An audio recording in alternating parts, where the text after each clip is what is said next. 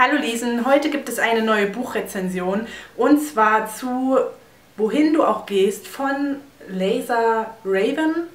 Ich hoffe, man spricht sie so aus. Ich muss dazu sagen, ich habe das Buch nicht als Buch gelesen, sondern mir als Hörbuch angehört, denn ich habe letztens entdeckt, dass es bei Spotify auch Hörbücher gibt. Hey, und da habe ich mich mega gefreut. Also ich habe äh, Spotify Premium und zahle für Spotify, ich glaube, 8,99 Euro im Monat und ja, habe da jetzt auch Hörbücher entdeckt und da fiel mir dieses Buch ins Auge, weil es eine Neuerscheinung war und weil ich es kannte, denn ich hatte mir von irgendwo, fragt mich nicht von wo, schon mal diese Leseprobe mitgenommen gehabt. Und die Leseprobe hatte mir eigentlich ganz gut gefallen. Die hatte ich mal in der S-Bahn durchgelesen und die hatte mich eigentlich in ihren Bann gezogen. Da dachte ich mir, hey cool, dann musst du das Buch jetzt nicht kaufen, weil ich hatte ehrlich gesagt überlegt, ob ich es mir kaufe und hörst es dir einfach bei Spotify an. Und im Nachhinein bin ich froh, dass ich es mir nicht gekauft habe, denn meine Meinung über dieses Buch ist nicht ganz so positiv.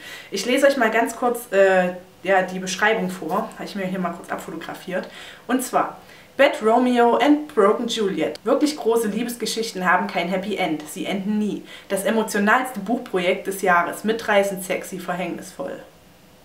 Lass ich mal so stehen. Der Traum vom unsterblichen Ruhm führt Cassandra Taylor und Ethan Holt zu einer der berühmtesten Schauspielakademien der USA. Bereits während des Vorsprechens kommt es zu einem schicksalhaften Ereignis. Cassandra und Ethan spielen eine gemeinsame Szene so perfekt, als besäßen sie eine tiefe Verbindung und würden sich seit Jahren kennen. Zwischen ihnen herrscht eine Anziehungskraft, die weder einstudiert noch erklärbar ist. Für das Auswahlverfahren erweist sich dies als Glücksfall. Cassandra und Ethan werden als das bekannteste Liebespaar der Geschichte gecastet. Trotz der gegenseitigen Anziehungskraft klappt es privat zwischen den beiden überhaupt nicht. Dennoch sind sie auch in den kommenden Jahren die perfekte Besetzung für große Liebesgeschichten. Und mit jedem Vorhang, der fällt, werden Cassandra und Ethan tiefer in das Wunder der Liebe hineingezogen. Ja, Lisa oder Lisa Raven hat einen realistischen Liebesroman geschaffen. Ha, ha, ha. Nein, hat sie nicht. Der von den ganz großen Sehnsüchten handelt. Bla, bla, bla. So, also zum Buch. Ihr habt ja schon gemerkt, dass ich damit nicht ganz so konform gehe. So, wie gesagt, die Leseprobe fand ich sehr, sehr ansprechend. Es geht um Cassandra und Ethan, die sich ähm, nach etlichen Jahren wieder treffen. Also es ist auch wieder so ein Buch, was quasi in zwei Zeitsträngen spielt. Und ähm, genau, also sie treffen sich an einem Theater wieder, weil sie ähm, zusammen wieder für ein, ein Theaterstück gecastet wurden. Und ähm, Cassandra ist nicht gerade begeistert, Ethan wiederzusehen, denn sie waren ein Paar und er hat sie sehr, sehr, sehr verletzt und wird jetzt wieder mit ihm konfrontiert. Ja, und danach kommt gleich wieder die Rückblende, wie sie sich kennengelernt haben, nämlich auf dieser Schauspielakademie in Amerika.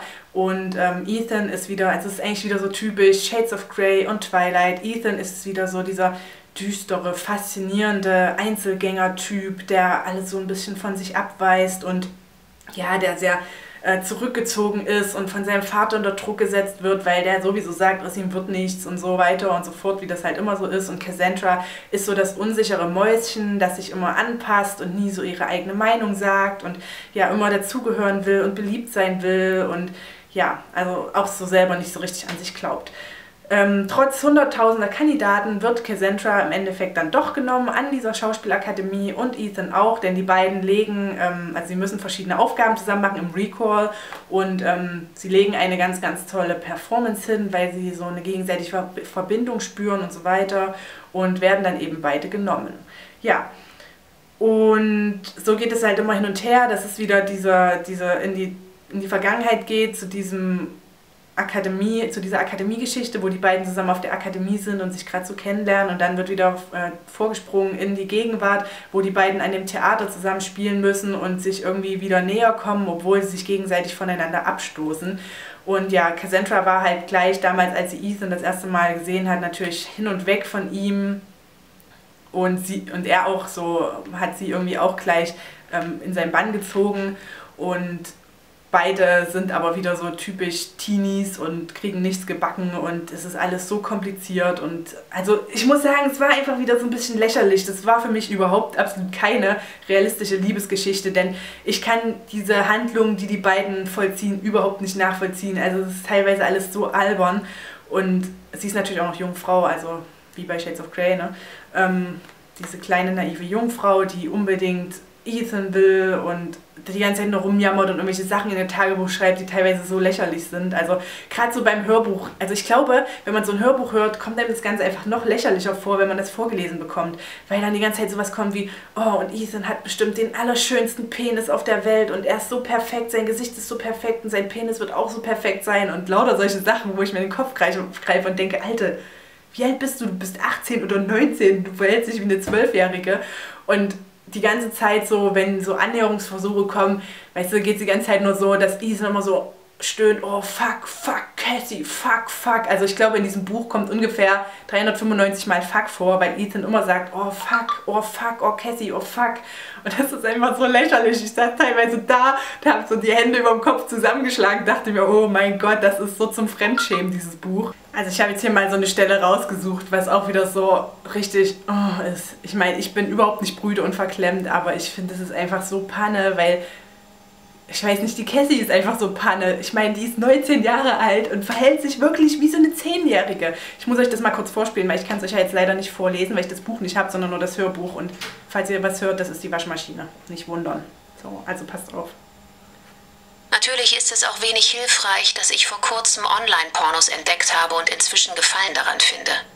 Am Anfang war ich schockiert und beschämt über die extremen Nahaufnahmen von weiblichen und männlichen Genitalien, die ineinander verkeilt sind. Aber die Scham ist schnell Faszination gewichen. Vor allem wegen der Penisse. Nicht die Schlafen natürlich, die sind schrumpelig und irgendwie eklig. Aber die anderen, wow. Ich wette, sie fühlen sich toll an. Sind Männer vielleicht deshalb so besessen von ihrem besten Stück? Ich war noch nie näher an einem Penis dran als neulich, als ich mich im Vollsuff auf Hold gesetzt habe. Und obwohl das auch schon ganz cool war, würde ich doch wirklich gern mal... Vielleicht lässt mich Hold ja seinen anfassen.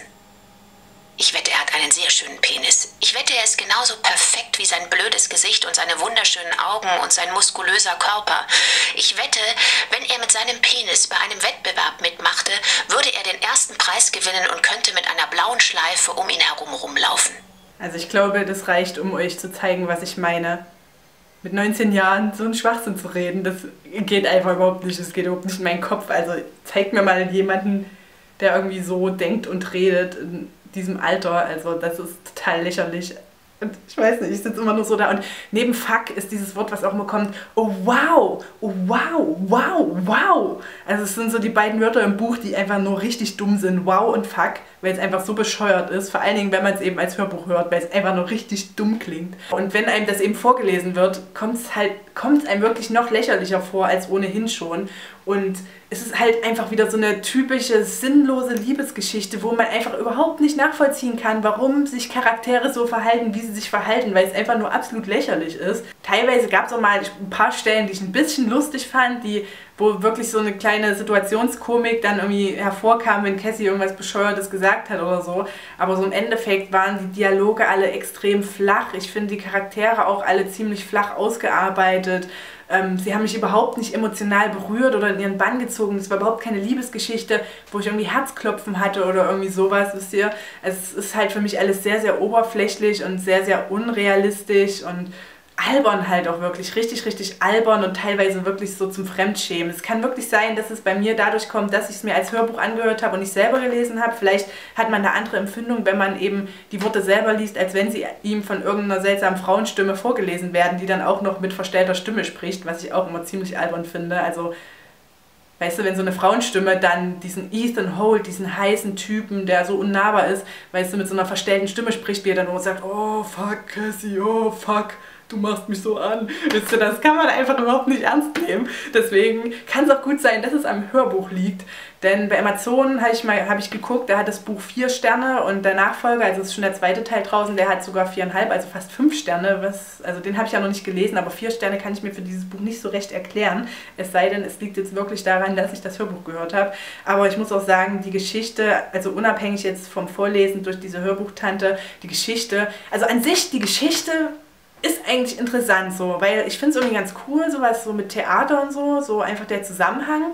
Finde ich irgendwie ganz spannend, weil so als Plot habe ich sowas noch nicht so oft gelesen.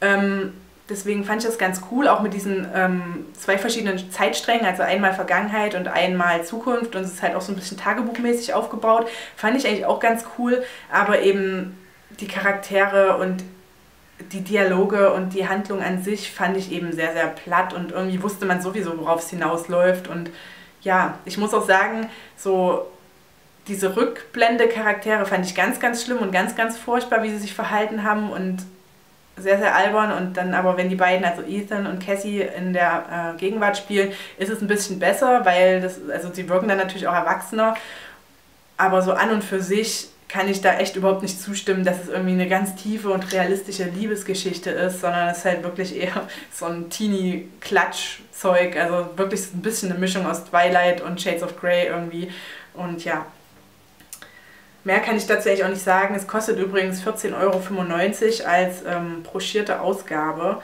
Und ich weiß ehrlich gesagt nicht, ob ich mir den zweiten Teil noch antun will. Ähm, mich würde auf jeden Fall eure Meinung interessieren. Also es ist übrigens erschienen auch im Fischer Verlag, habe ich auch vergessen zu sagen. Also ich bin immer ein bisschen verpeilt, es tut mir leid. Ähm, ja, wenn ihr das Buch schon gelesen habt, dann wäre ich sehr, sehr gespannt auf eure Meinung. Und ja, ähm, ich muss sagen, ich kann das Buch nicht ganz so schlecht bewerten wie Beautiful Disaster damals. Das hat, glaube ich, von mir zwei Sterne bekommen, weil ich es so extrem beknackt fand durch dieses, oh Täubchen, Täubchen. Aber dieses Buch ist auch schon relativ nah dran, wobei dieses Buch doch teilweise nochmal Spannungsmomente hatte und so. Deswegen bekommt es von mir, sagen wir mal, gnädigerweise drei von vier Erdbeeren. Aber ähm, richtig empfehlen kann ich es euch nicht. Aber wenn ihr Spotify habt, dann hört euch einfach mal das Hörbuch an. Kostet ja nichts bis auf euren Spotify-Account, aber ihr könnt Spotify auch kostenlos nutzen. Dann habt ihr zwischendurch immer mal Werbung drin.